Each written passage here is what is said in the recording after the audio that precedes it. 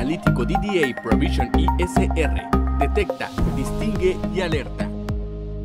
Mediante esta función analítica, crea una distinción precisa entre humanos y vehículos de dos y cuatro ruedas.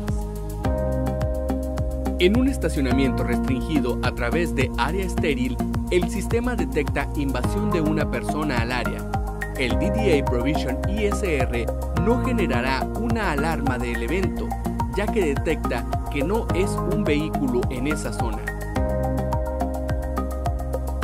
En este mismo escenario, cuando un auto ingresa al área estéril, el sistema detecta la intrusión de un vehículo y activa la alarma.